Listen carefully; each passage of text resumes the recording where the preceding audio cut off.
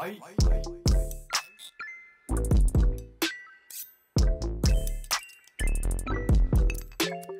YouTube, it's Faye, and for today's video I'm going to show you how to measure your brake pad thickness with this Rasta stick. or the official term is a brake pad thickness measuring gauge or something like that. Um, anyway, why on earth would we want to do this? Aside from, of course, if we, you know, work in a dealership or an automotive repair shop, and it's part of our job to tell our customers what the brake pad thickness is. Um, and you're probably wondering why we would do this because there are so many built-in ways that the vehicle is already going to warn us that our brake pads are low. For example, on my lovely 1998 Toyota 4Runner. Built into the actual reservoir on Grim Repo here, you can see the brake fluid level sensor. And you can find a similar design on older Toyotas too, like my 1989 Toyota Supra. Built into the brake fluid reservoir cap is this switch, which will turn on the brake light when the fluid in the reservoir goes to low. This is important because as your brake pads wear away, then that space that the caliper pistons need to reach the brake pads gets larger. So the brake fluid leaves the reservoir and goes down into the calipers and makes up that extra space basically. So your fluid being low would indicate that your brake pads are low, which would give you a warning light on your dash. Now, why does this not work in most situations? You go to the dealership or you go to an independent automotive repair shop to get your oil changed and they do a full service, which means topping off all your fluids. Most of the time, those oil change people don't necessarily know that the fluid level is really important and needs to maintain whatever it was at.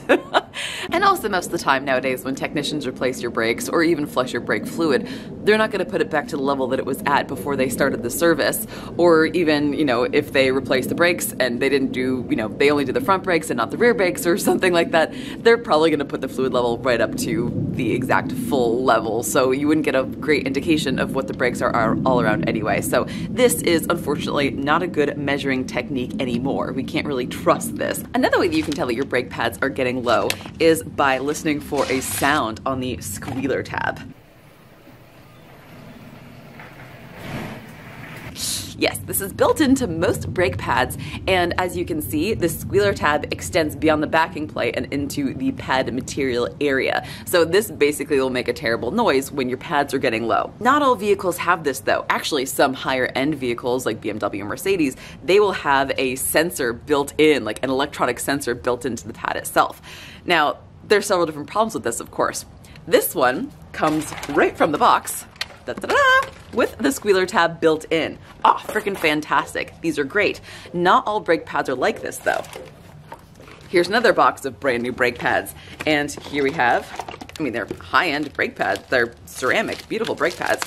But none of these pads have the squealer tab automatically built in. So on this particular set of brake pads, they're relying on the mechanic to swap over the brake pad squealer tabs from your old brakes to your new brakes. I mean, look, this doesn't even come with a hardware kit. Like this is all that comes in there. So um, if the mechanic forgets and does not swap over the squealer tab from one to another, well, then what are you supposed to do? You can't really listen for that noise. So at that point, any noise you hear from your brakes is probably gonna be that squeal of like metal on metal when you don't have any pad material left. Now also there can also be the failure of the technician to put the squealer tab in the right place.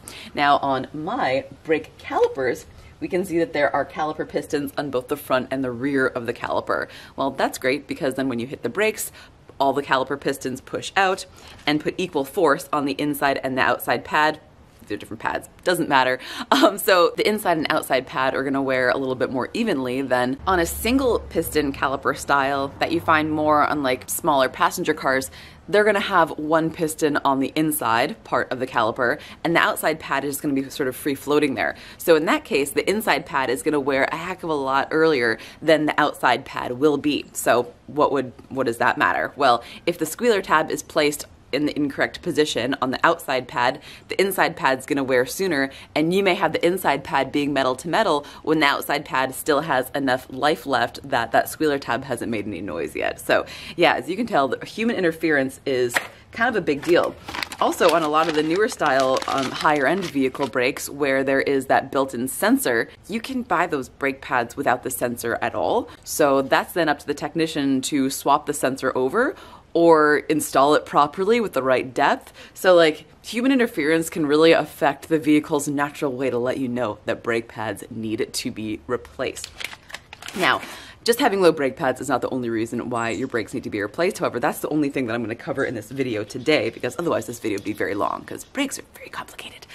for a simple system, there's a lot of things that can go wrong. Um, and there was a lot for me to say without any of y'all giving me hell in the comments. So um, anyways, another reason why it's important to be able to measure your own brake pads is because look at this lovely gauge. We have green, we have yellow, and we have red. Now, when do you think at the dealership it's safe for me to tell you that you need brakes? Well, the answer is when you're at the five millimeter mark. That was at my particular dealership when I was allowed to tell a customer that they needed brakes. Now, that's not necessarily what I wanted to do. I tend to like to warn customers when they actually are closer to really needing brakes, which is in this red level.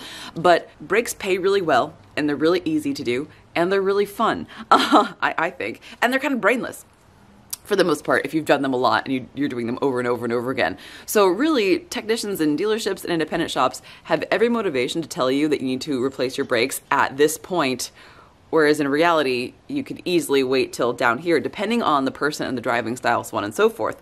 And also, not every single set of brakes starts out all the way here. Um, for example, on Toyotas, you've got the smaller passenger cars like a Prius or a Corolla. Their brake pads tend to start out at 8 millimeters, whereas you have a larger vehicle, a truck, so Tundra um, or Tacoma, you're going to start out more around the 12 millimeter mark. So it's crazy to think that at 8 millimeters or at 12 millimeters that 5 millimeters is across the board a safe place for me to tell you that you need brakes. But yeah, a lot of people rely on their service advisors or their mechanics to tell them, hey, you need brakes. It's always good to be able to double check. That being said though too, the lower that your pad thickness gets, I mean, your brake pads and your rotors are also heat sinks. They also dissipate heat. So the smaller that the brake pads get or like the thinner that the brake pad material gets, the faster they, they do wear. That is true. So the lower you get down on the scale, the sooner you're gonna need to replace your brakes. Whoops, I did like a really bad job of explaining that. So um, future Faye here to clarify what I meant. Basically, the lower that your pads get, the less material that there is to dissipate heat. And so it takes less time, it takes fewer stops at this thickness to wear down a millimeter of brake pads than it does at say this thickness. That's what I meant. Sorry for that. Carry on. Okay, so how does this brake pad thickness gauge work? So you wanna be careful that we're not measuring the backing plate. The backing plate does nothing but hold the friction material. so um, we're gonna make sure that no matter what we do, these are brand new brake pads so we can sort of see where they start out. No matter what we do, our goal is to measure between the rotor, which is gonna sit right here, and the backing plate and that, that space in between. Now these are a chamfered brake pad. The thickness of the pad should be measured here and, and not on the edge there where the chamfer is. That just basically allows for less noise and uh, also dissipating of brake dust. So if I was to take my, my brake pad thickness gauge and, and measure there, I would see that this portion right here where the chamfered edge is measures at about seven and a half millimeters, but that's not the actual measuring of the brake itself. The actual brake pad itself is more like 10 millimeters. So that's how we're gonna be using this gauge. Now, how do we use that gauge on the vehicle? Well, as you can tell, this vehicle is kind of difficult to measure brake pad thickness on without taking the wheel off. That's because my spokes are kind of close together. It's hard to get my hand and the brake pad gauge in there. And then also the style of caliper that I have, it's really difficult to even like get the thickness gauge in there at all. So I take my wheel off and I measure from the back. Here are the brake pads.